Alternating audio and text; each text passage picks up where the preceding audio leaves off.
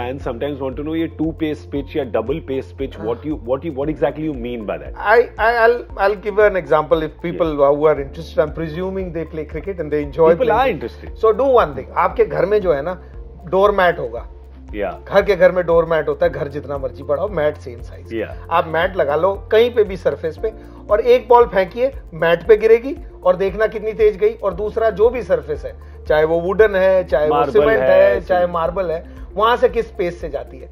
उसका मतलब है डबल पेस वो हुई एक ही पिच बीच में मैट वहाँ पे पड़ती है तो अलग पेस पे जाएगी और दूसरे सरफेस पे गिरे गिरेगी तो अलग पेस पे जाएगी। Okay. फ़र्क ये है कि मैट यहाँ इतना बड़ा होगा क्योंकि आप एम नहीं कर पा रहे। यहाँ पे इतना से मैट है इतना हार्ड है। इतना मैट है इतना हार्ड है। तो बैट्समैन के लिए ना देखना थोड़ा सा मुश्किल होता है। उसको कहते हैं double pitch re- really looks like one of those old footballs, no? with the black and the white patch and the black and the white patch.